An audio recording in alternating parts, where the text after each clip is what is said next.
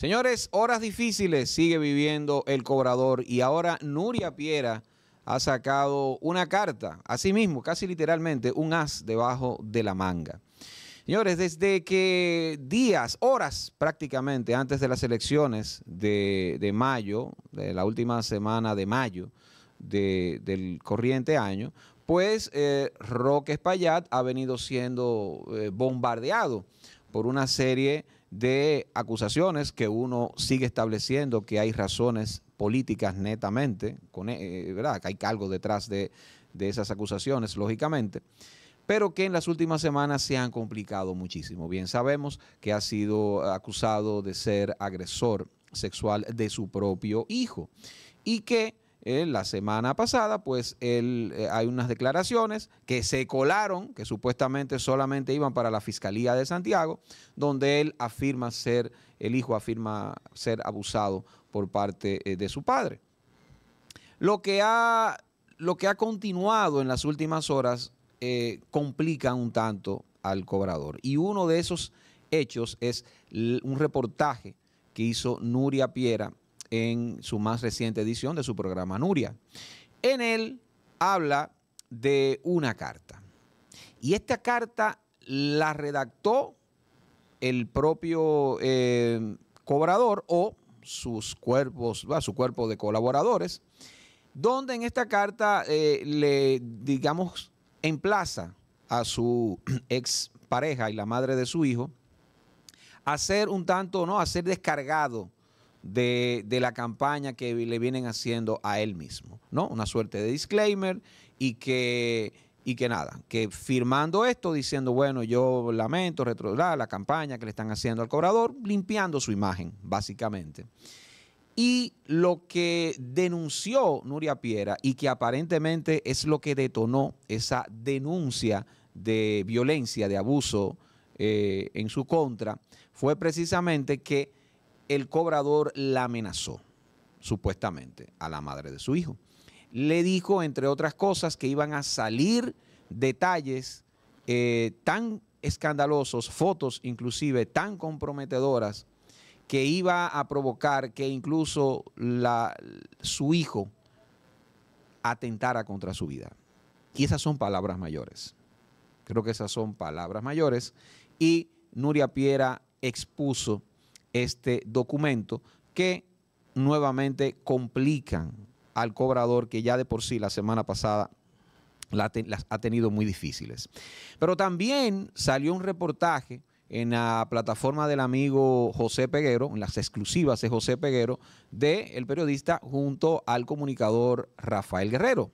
José Peguero se trasladó a su casa y ahí Rafael Guerrero eh, dio detalles, dio revelaciones acerca del cobrador, de su relación y cómo él eh, declaró haber sido timado de alguna manera por el mismo cobrador, de ser, de haber sido incluso usado, de una denuncia que iba a ser conjunto con eh, eh, Roque Espaillat frente a Miriam Germán. Se supone que él, el cobrador, era amigo de Miriam Germán y que le iba a diligenciar también la, una, fundación que quería crear eh, Rafael Guerrero.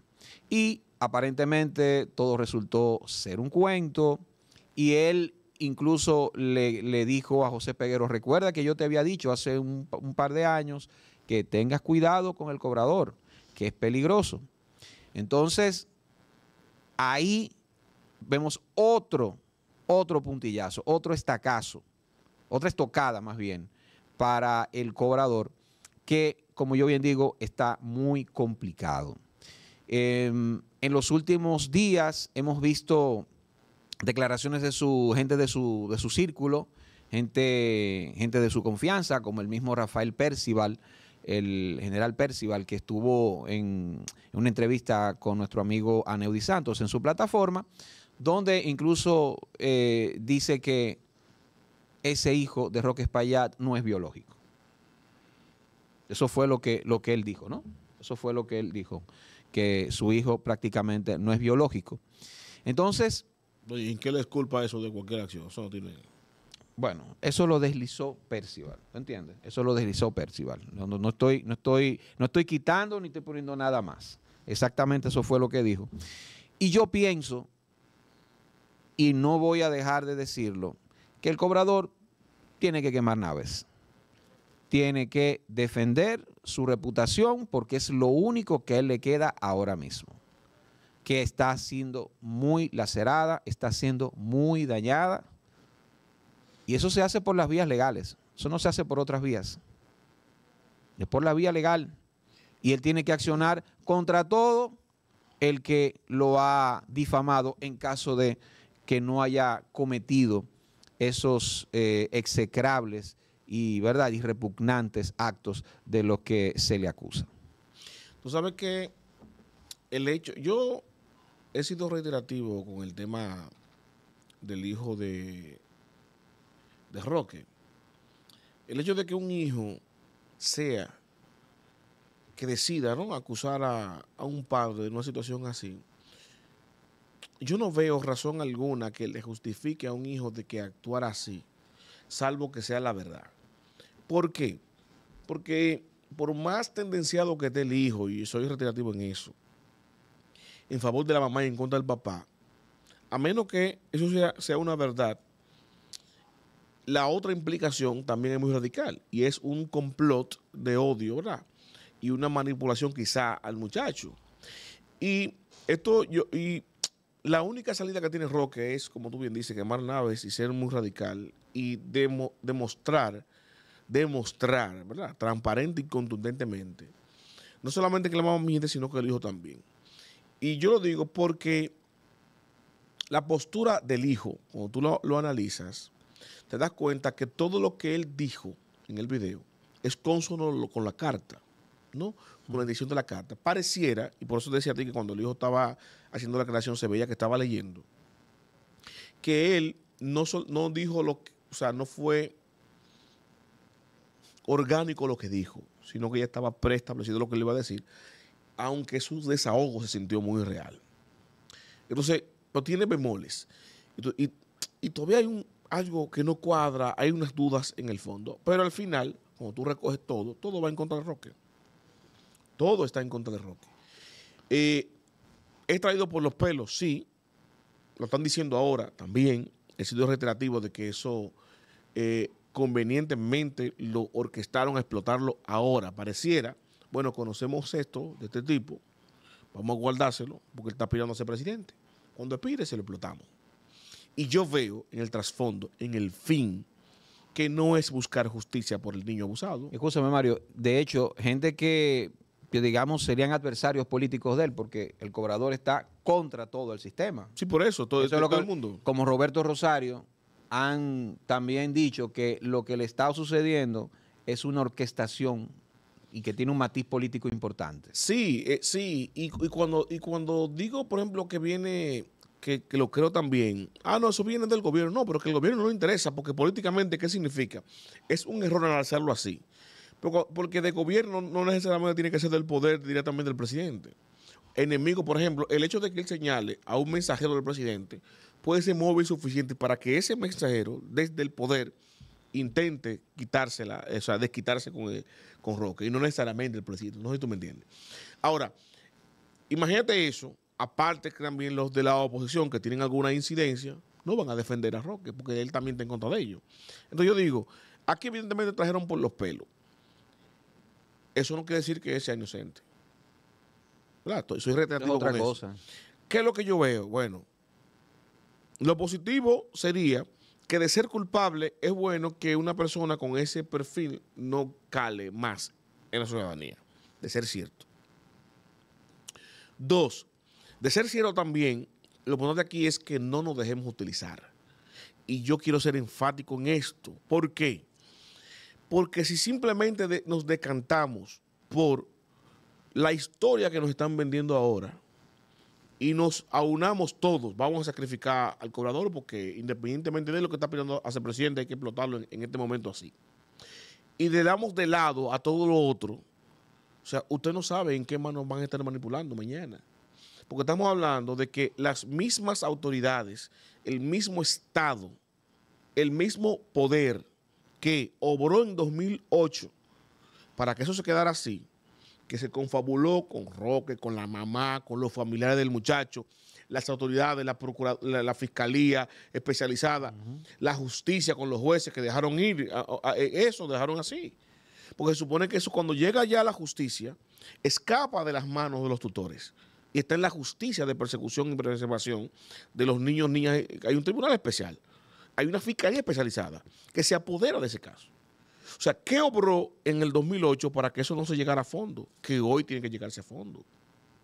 Hoy, hoy, yo insisto, si van a caer no debe ser Roque solamente.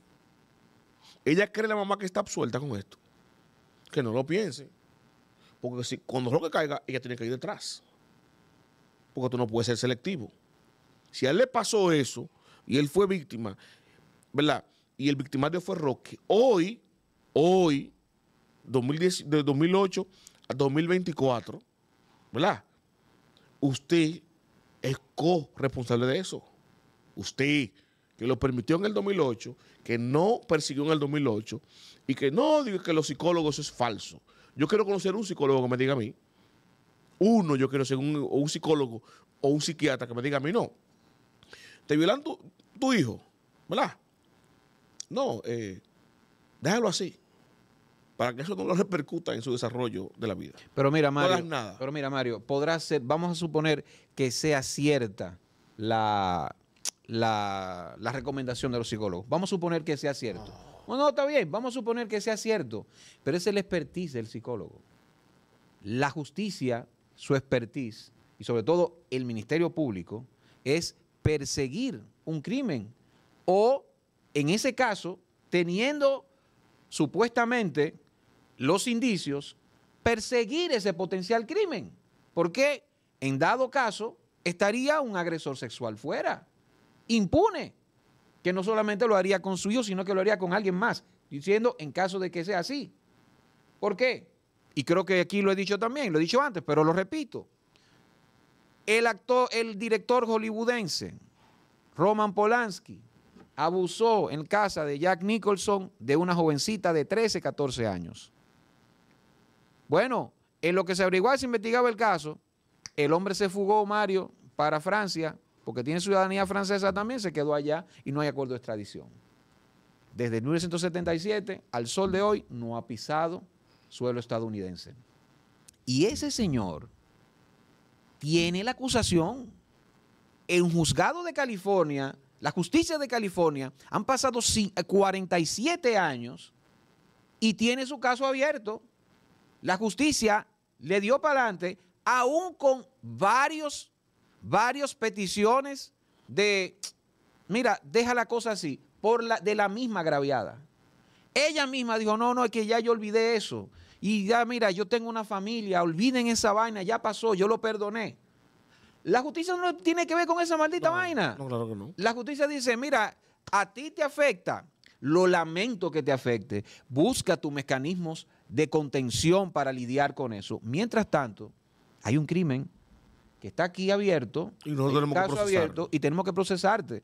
Es que ese es el gran problema, que la justicia no dio continuidad del caso y por eso yo no estoy de acuerdo en eso que dijo Nuria Piera, por ejemplo, Mario, en ese reportaje que vi, cuando condena, ella misma condena al, al cobrador de ser agresor sexual yo no lo puedo condenar porque él, él no tiene un proceso, a él no se le sigue un proceso. Y ella dijo enfáticamente que es un agresor sexual.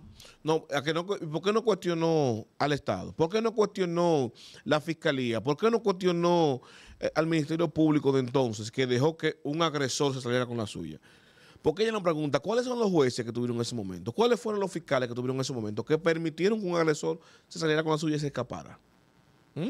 Los familiares de ese, niño de, 8 años en ese entonces, 4, ¿no? que tenía, no recuerdo. O 6, me parece que 6 tenía. Está entre, entre 6 y 8 años. Sí, sí, Que él no, va, él no va a acordarse nada de eso, a menos que se lo digan.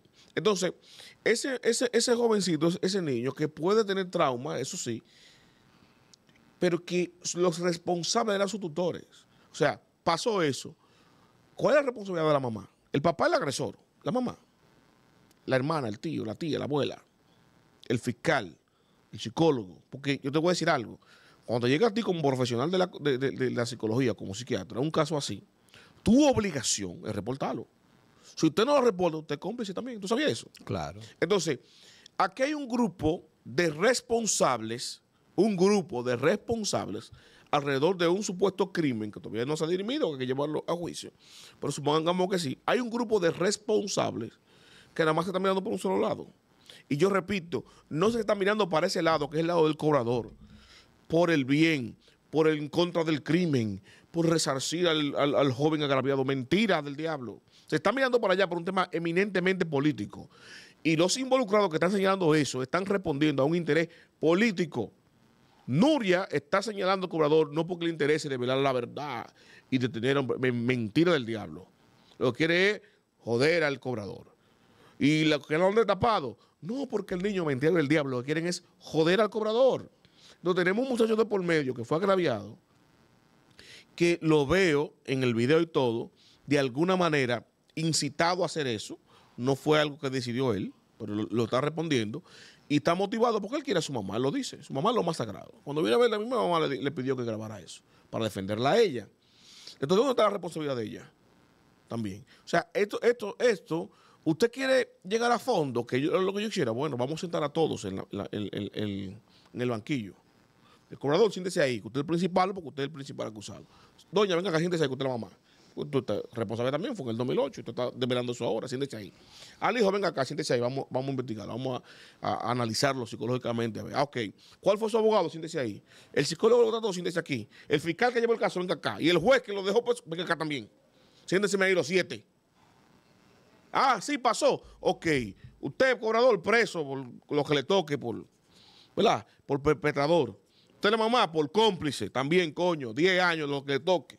Usted, el fiscal, preso también por sinvergüenza, que usted vendió el caso en el 2008. Y el juez también preso, coño, que usted cogió lo suyo.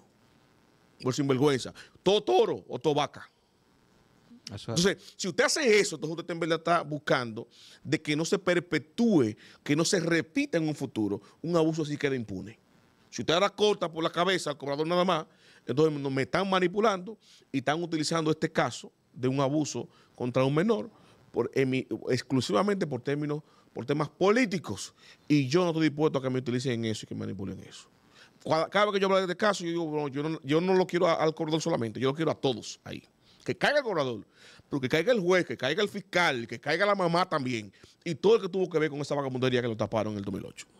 La quinta pata, Mario Herrera, Edwin Cruz. Recuerda suscribirte, activar campanita, darle a me gusta para seguir creciendo, cajita de comentarios y recuerda, estamos en Siembra TV para el Gran Santo Domingo en Win TVO, canal 503 y para el Cibao en las principales cableras del Cibao Central.